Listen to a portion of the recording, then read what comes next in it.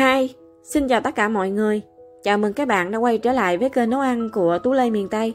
Hôm nay thì mình chia sẻ đến các bạn một cái món ngon cho các bé ở nhà và mình tận dụng từ cơm nguội rất là ngon. Đó chính là kim bắp chiên xù. Với cách làm đơn giản thôi thì mình đã có một cái món ngon cho các bé thưởng thức. Thì cách làm như thế nào? Mời các bạn vào bếp cùng mình. Đầu tiên ở đây thì mình có cơm và mình sử dụng hai chén hơi vung một tí nha các bạn. Rồi bên đây mình sẽ có 30g bột chiên xù, nửa muỗng cà phê tiêu, hai muỗng cà phê hạt niêm và hai muỗng cà phê đường.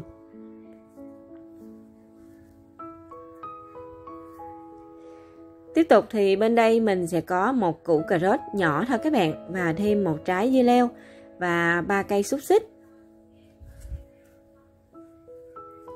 Dưa leo thì à, mình sẽ cắt ra vài lát nha các bạn. Sau đó thì mình sẽ cắt sợi ra như thế này.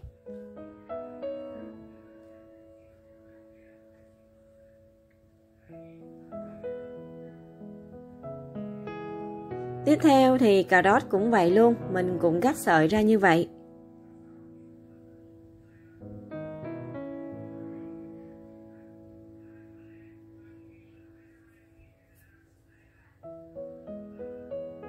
Vâng, Phần cà rốt này thì mình sử dụng một củ nhỏ nhỏ là đủ rồi các bạn. Rồi mình sẽ cho qua một cái rổ này luôn. Xúc xích thì à, mình sẽ chẻ nó ra làm hai thôi các bạn. Món ăn nào mà có xúc xích thì à, các bé nó rất là thích ăn luôn.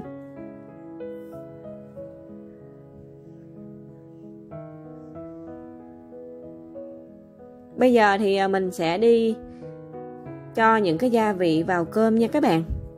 Những cái gia vị lúc đầu mình chia sẻ thì mình sẽ cho hết vào đây luôn. Thì cái phần này mình làm theo khẩu vị của mình, cho nên là các bạn cũng có thể nêm nếm lại theo khẩu vị của mỗi nhà nha. Rồi bây giờ mình sẽ trộn đều lên, cho gia vị nó thấm vào cơm và mình cũng dùng cái tay mình bóp bóp cho cái phần cơm nó được kết dính vào nhau nha. Cơm thì các bạn sử dụng cơm nó hơi mềm một tí thì sẽ càng tốt hơn. Bây giờ mình đã bắt lên bếp một cái nồi nước nha các bạn. Nước sôi rồi thì mình sẽ cho cà rốt vô để mà mình luộc cho nó chín. Thì món ăn này các bé nó sẽ dễ ăn hơn. Các bạn chỉ việc à, luộc làm sao mà mình thấy cà rốt mềm là được ha. Khi cà rốt nó mềm rồi thì mình sẽ vớt ra Rồi, đã sơ chế xong rồi nè, Thì ở đây mình sử dụng rong biển nha. Thì các bạn sử dụng hiệu nào cũng được. Bây giờ thì à, mình sẽ cho cơm vô ha. Ở đây thì mình chia ra là 3 phần đó các bạn. Mình được 3 cuộn nha. Cứ việc cho cơm vô rồi mình tán đều ra.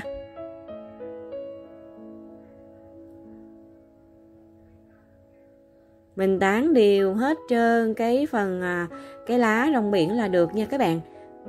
Đó, cơm thì à, mình sử dụng cơm hơi mềm một tí thì nó sẽ được kết dính và ngon hơn. Còn mà cơm khô quá đó các bạn thì nó sẽ không có cái độ kết dính nha.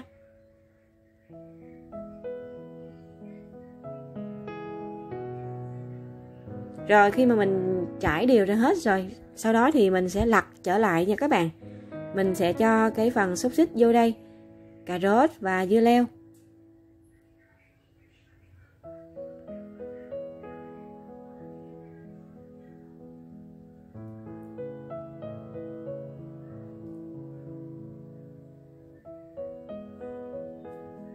Xúc xích thì à, mình sẽ thêm nửa cây nữa các bạn. Đó, cho nó đủ cái chiều dài nha. Sau đó mình sẽ cuộn lại.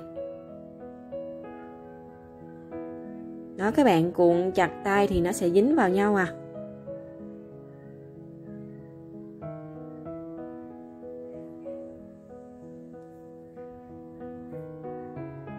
Đó mình làm như thế này thì nó sẽ được chặt hơn đó các bạn. Rồi á bây giờ mình sẽ lăn nó qua bột chiên xù nha.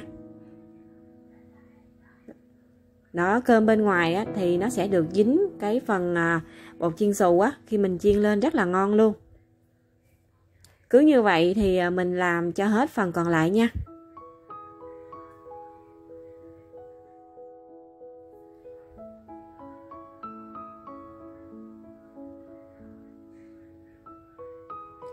Rồi khi mà mình đã làm xong rồi nè, bây giờ mình sẽ đem đi chiên luôn.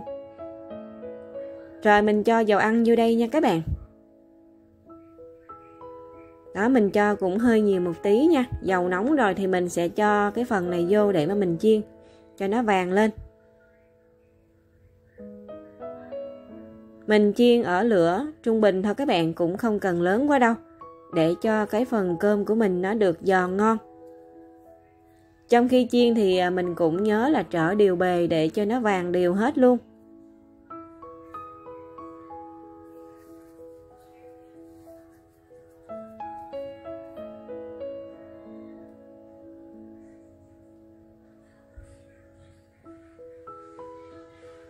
Sau khi mà mình chiên được một lúc các bạn sẽ thấy là nó vàng đều hết như thế này.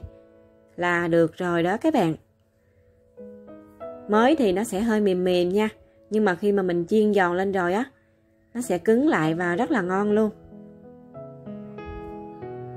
Rồi mình sẽ vớt ra nha các bạn.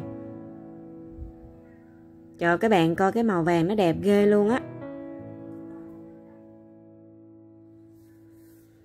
Một cái màu vàng ươm rất là ngon luôn các bạn.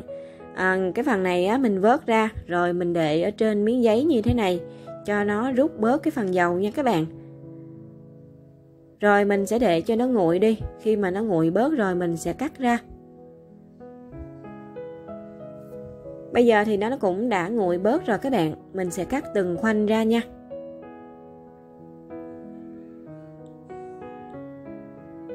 Đây các bạn thấy là bên trong nó sẽ như thế này ha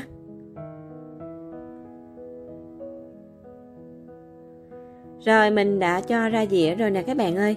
À, như vậy là đã xong cái món kim báp chiên xù từ cơm nguội của mình rồi đó. Với cái làm đơn giản là mình đã có một cái món ngon cho các bé rồi. Ăn thì mình sẽ ăn kèm với lại tương cà và mayonnaise. À, các bạn có thể ăn với lại tương ớt. Mình chấm kèm mayonnaise dịu ngọt đó các bạn. Ăn rất là ngon luôn, mà không bị chua nữa.